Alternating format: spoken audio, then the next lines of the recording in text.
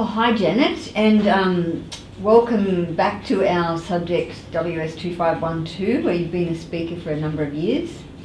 As you know, the focus of this subject is on organisational practice, and we've we've been interested in including feminist and women-centred organisations um, in this subject because, in some ways, women-centred feminist organisations really illustrate well how the goals and the structure the history and the theories uh, about organisations are visible um, in feminist or women-centred organisations, how they all come together. So I thought I'd like to ask you a few questions about your work here, um, if that's okay. Yeah, that's fine. Thank you, Sue, for inviting me to speak, and um, welcome to all the students as well. Yeah, so I thought I'd um, start by asking you what do you think makes feminist or women centred organisations different?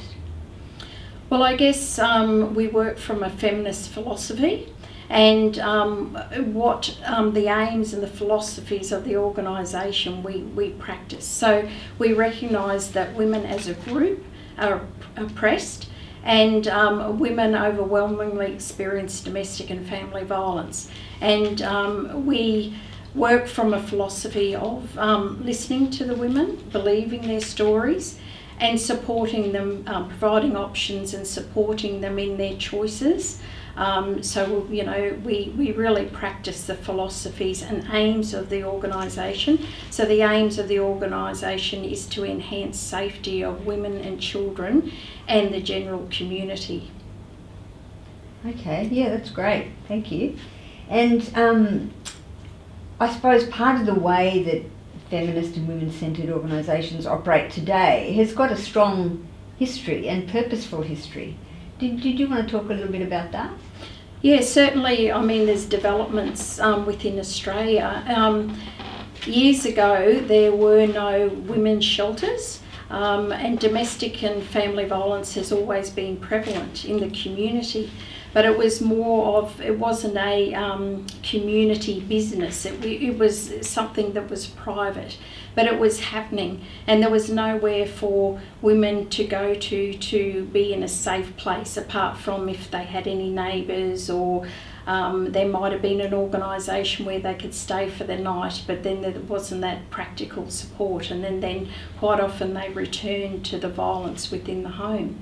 So in 1974, a group of feminist women, um, what they did was broke into um, a vacant house and they started up the shelter and it was called Elsie Shelter.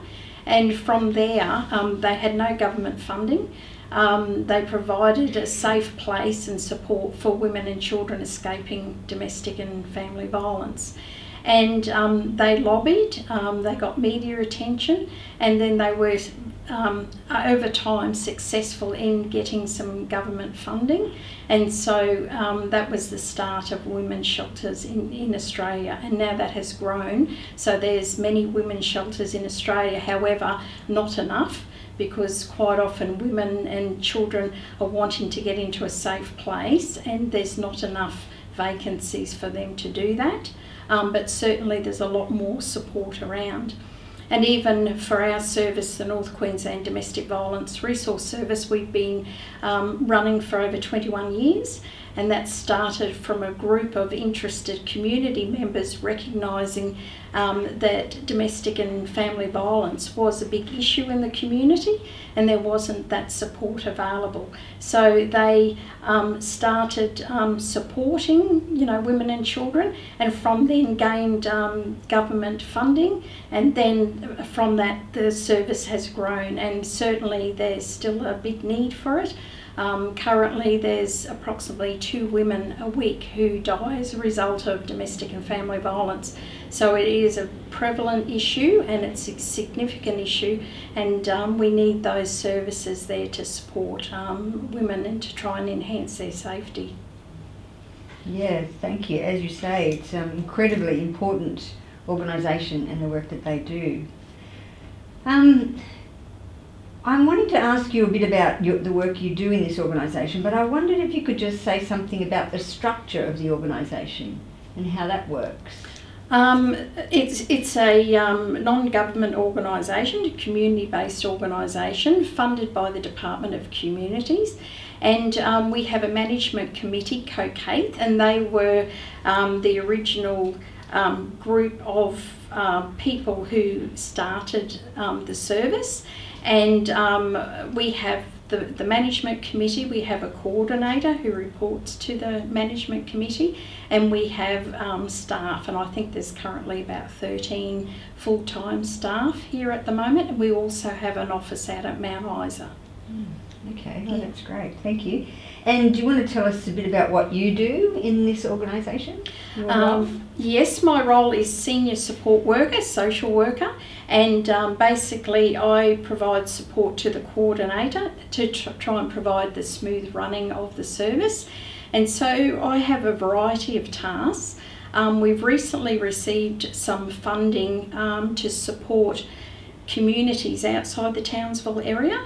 So um, I'm uh, doing that role as well at the moment. So in the areas of Charters Towers, Hughenden, the Burdekin, Palm Island, and Ingham, there's domestic violence workers there, and so my role is to support them in the work that they do because quite often they can feel quite isolated. So I can provide support, resources, and try and initiate um, or support if they're already running DV network meetings in those areas and bring people together. So that's one of my roles. Another role is, um, as I said, supporting the coordinator. So it's um, a variety of tasks, and that can include client work as well, but being there to support um, staff members. Um, being on um, steering committees, um, attending meetings, being part of the Dovetail meeting, which is a community integrated response um, to respond to domestic and family violence within Townsville. Um, some client work, and um, as I said, a range of um, meetings and committees. And the purpose of that is to work all together within the Townsville community to try and respond to domestic and family violence. Yeah. Okay. Look, that's terrific, Janet, and uh, and thanks for taking your time to talk to uh, our, our students out at JCU in organisational practice. My pleasure. Thank you, Sue.